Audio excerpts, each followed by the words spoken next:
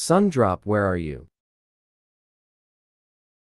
Seriously sunny again. Judge me all you want, but glitter glue is food too. Sundrop. It literally says on the bottle not to eat it. I eat what I want. You can fight me about it. Ow, I didn't mean it literally.